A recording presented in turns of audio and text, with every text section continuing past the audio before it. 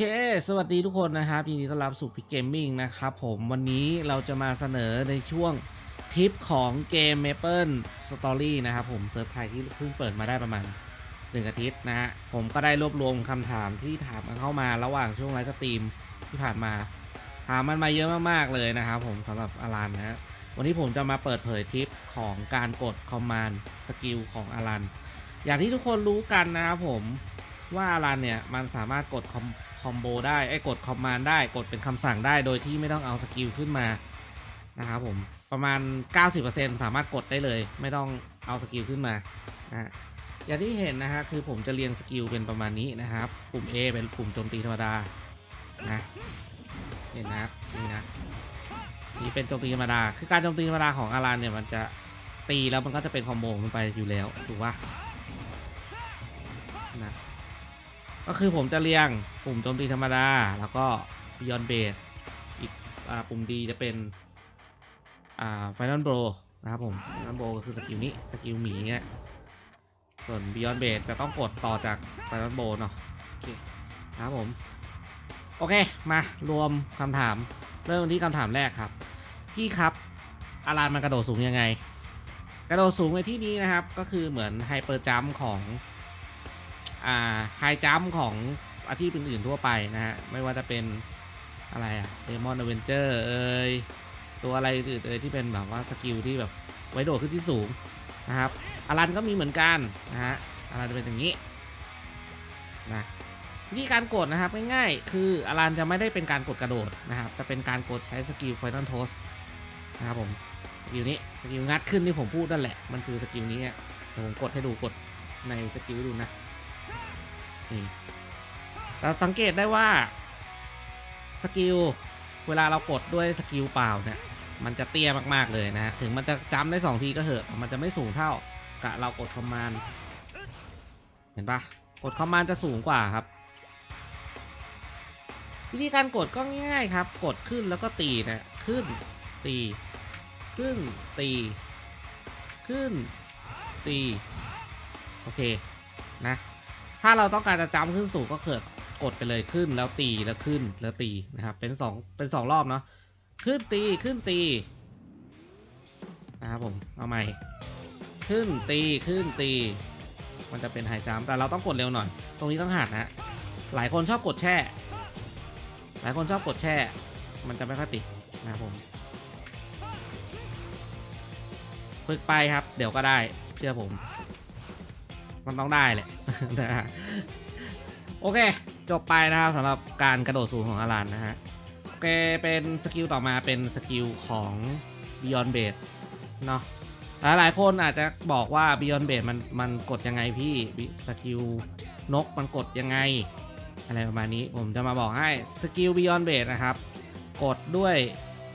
อ่าต้องเปิดด้วยสกิล Final Bow ก่อนนะครับที่ปุ่ม D นะของผมตั้งไว้ปุ่ม D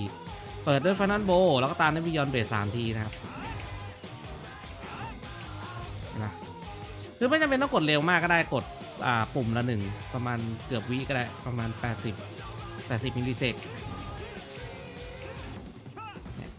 คือไม่ต้องกดเร็วก็ได้แต่ถ้ากดเร็วก็จะได้เป็น Attack Speed ที่เร็วขึ้น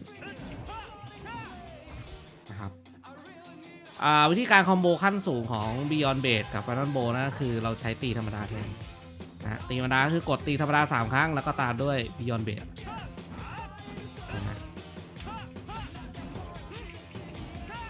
ได้เหมือนกัน ตรงนี้เราจะได้ damage เสริมขึ้นมาจากการโจมตีธรรมดาสองทีเห็นปะสำหรับอารันนะครับ ในตรงเนี้ยมันมันทำให้เหมือนอ่าทำให้ skill swingอะสไอ้นี่ครับ มันทำให้สกิลของอารันทำงานด้วยนั่นก็คือ Command Command Mastery นะครับทำให้พลังการโจมตีของสกิลต่างๆเนี่ยเพิ่มขึ้นอีก 5%นะฮะ ถ้าเกิดเรากดด้วยโจมตีธรรมดานะ เหมือนเราใช้ command เนี่ย เข้าใจปะเออทำให้สกิลนี้ทำงานด้วยทำให้โจมตีนั้นแรงขึ้น นะก็มีคนถามว่า เฮ้ยพี่ทำไมพี่ไม่กดอ่า Final Blow แล้วก็ Beyond Blade ไปเลย มันได้ครับมันเร็วจริงแต่ว่า damage มันหายไปนะครับประมาณนี้นะฮะอีกหนึ่งสกิลเลยที่ค่อนข้างจะมีปัญหากันมาก ๆ นะครับ นั่นก็คือสกิลอ่าไซโคนมันชื่อสกิลอะไรนะดูแป๊บFinal Storm นะฮะ ไอ้ยไม่ใช่ Storm of Fear นะครับ เป็นสกิล finisher นะหรือสกิลที่ต้องเข้าโหมดบังไคที่น้องๆหลายคนเข้ามาถามผมโหมดบังไคนะก็คือโหมดอ่า Adrenaline Rush นะครับผมอยู่นี้นะ Adrenaline Rush นะนั่นคือคอมโบครบ 1,000 นั่นแหละนะฮะโหมดนี้จะทำให้เราใช้สกิล 2 สกิลนี้ได้ทั้ง Hunter Prey Prey Hunter Prey นะครับ กับอ่า Storm of Fear นะฮะก็คือสกิลดูดที่หลาย ๆ คนเห็นผมใช้แล้วหลุดนั่นแหละ คือมันดูดมาเยอะเกินนะครับ ดูดมอนมาเยอะเกินนะเดี๋ยวผมจะใช้ดูแล้วกันนะครับผมก่อนแรกเดี๋ยวอ่าอธิบายก่อนวิธีการใช้ของมันนะครับสำหรับสกิล Storm of Fear หรือ Tornado หรือไซโคลหรือพายุ อะไรที่จะว่าไปก็แล้วแต่นั่นแหละ สกิลนั่นแหละนะฮะ วิธีการใช้ก็คือกดลงซ้ายขวาหรือลงขวาซ้ายก็ได้นะครับ หลังจากนั้นกดปุ่มโจมตีหนึ่งครั้ง โจมตีหนึ่งครั้ง มันจะขึ้นแสงที่ตัวเราเป็นแสงสีขาวนะครับผม แล้วให้เรากดสกิลอ่าให้เรากดโจมตีอีกหนึ่งครั้งค้างไว้เลย จนกว่าทอร์นาโดจะหยุดครับผม อันนี้อธิบายเนาะสั้นๆนะเดี๋ยวเรามาดูกันวิธีการกดกดยังไงนะฮะผมจะเปิดโหมดเลยนะ นะครับผมกดลงซ้ายขวาตี แล้วกดตีอีกครั้ง ก็จะได้ทอร์นาโดที่สวยงามนะครับผม ก็กดแช่ไปจนกว่ามันจะหยุดนั่นแหละนะฮะอันนี้คือวิธีการกด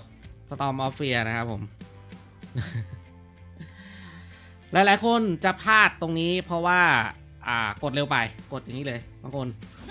มันจะไม่ติดนะครับ คือต้อง ระลึกไว้ก่อนว่าอ่าไอ้เจ้าเกม Maple Story เนี่ย มันไม่ใช่เกม Street Fighter มันไม่ใช่เกม King of Fighter หรือเกมอะไรก็แล้วแต่ที่เป็นเกมอาร์เคดนะฮะ ที่จะต้องกดลูดปื๊ดปื๊ดปื๊ดปื๊ดอะไรอย่างงี้ไม่ใช่นะครับผม กดได้ด้วยคำอ่าความเร็วประมาณ ปุ่มละเกือบวินะครับ ตีปะปุ่มละเกือบหนึ่งวิ ค่อยๆ กดก็ได้ไม่ต้องรีบนะฮะใจเย็นๆ ค่อย ๆ กดนะครับผมโอเคนะครับผม เดี๋ยวเข้าเรามาลองดูอีกสักครั้งหนึ่งนะฮะสำหรับสกิล Storm of Fear นะครับผม เดี๋ยวเรามาดูกันช้าๆชัดๆว่าผมกดยังไงนะฮะอะเราจะเริ่มจากเปิดโหมดบังใครก่อนนะครับผมไม่จำเป็นต้องกดเร็ว ผมย้ำอีกที ไม่จำเป็นต้องกดเร็วนะกด อย่างนี้ยังได้นะ